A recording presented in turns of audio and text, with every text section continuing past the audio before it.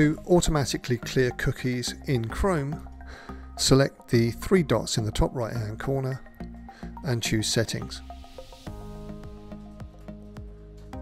From Settings, scroll down to Advanced. Select Privacy and Security and choose Content Settings. Select Cookies and then push the slider to the right by Keep Local Data only until you quit your browser.